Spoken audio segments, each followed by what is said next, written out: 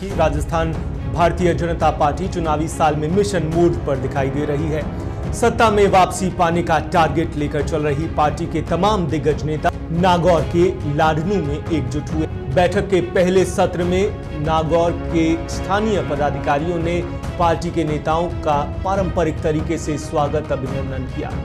चुनावी वर्ष होने की वजह से ये बैठक काफ़ी महत्वपूर्ण मानी जा रही है। इधर लाडनू में भी अ, भाजपा की प्रदेश कार्यकारिणी की बैठक हुई। भाजपा नेता रामलाल शर्मा ने बताया है कि केंद्र सरकार 30 मई को अपने 9 वर्ष पूरे करने जा रही है।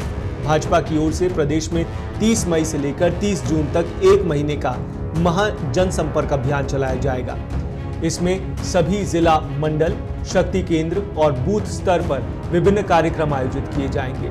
जबकि 1 जून से लेकर 22 जून तक लोकसभा स्तरीय कार्यक्रमों के तहत सभी 25 लोकसभा क्षेत्रों में विशाल जनसभा आयोजित होगी, जिसमें केंद्रीय मंत्री, भाजपा प्रदेशाध्यक्ष, नेता प्रतिपक्ष और सांसद सहित विधायक मौजूद रहेंगे।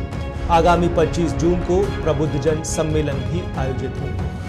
मिशन 2023 पर चर्चा होगी, मिशन 2024 पर चर्चा होगी। पार्टी का सभी प्रमुख जनप्रतिनिधि वर्ग यहाँ है, सारे पार्टी के संगठनात्मक लोग हैं, कुल मिलाकर इस पूरे दिन भर में सारगर्भित चर्चा होगी, राजनीतिक प्रस्ताव होंगे, पार्टी के जो आगामी अभियान है, उन पर चर्चा होगी।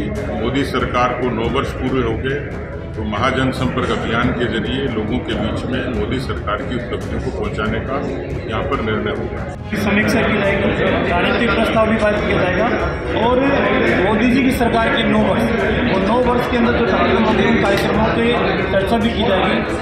हर प्रत्येक संसदीय क्षेत्र के अंदर एक सम्मेलन आयोजित किया जाएगा बुद्धिमान सम्मेलन भी आयोजित किया जाएगा। समाज के प्रमुख लोगों से 30 जून को एक महासंपर्क अभियान आयोजित किया जाएगा, जिसके पार्टी के तमाम कार्यकर्ता प्रदेश के शीर्ष नेतृत्व के कार्यकर्ता और तमाम लोकसभा के सदस्य भी इस अभियान के अंदर।